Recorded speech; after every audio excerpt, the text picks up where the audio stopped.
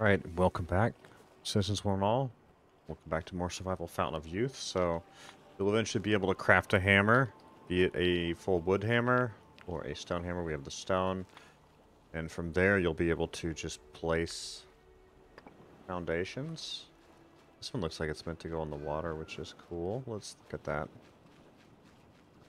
Yeah, it's meant to go in the water. It's super neat.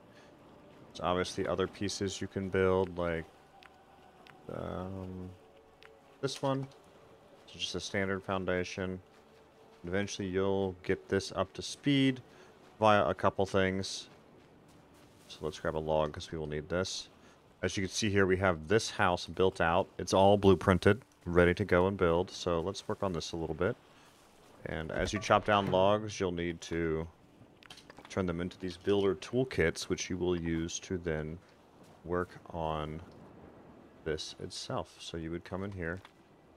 You need this builder toolkit all the way around. Like that.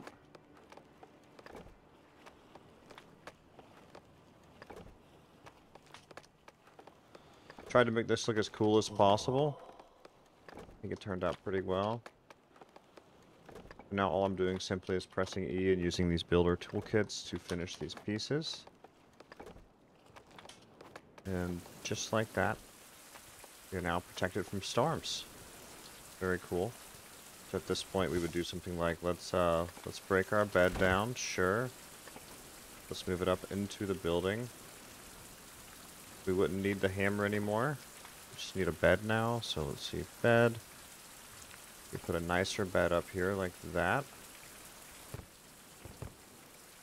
Very cool. And you no longer need the hammer even, so building the bed. And we can rest here out of the elements. And that's how you build a basic, very basic house. We will continue to explore with this and see if there's other methods to building, so on and so forth. But this is what we can currently build. So on that note, y'all take care and enjoy Survival Fountain of Youth.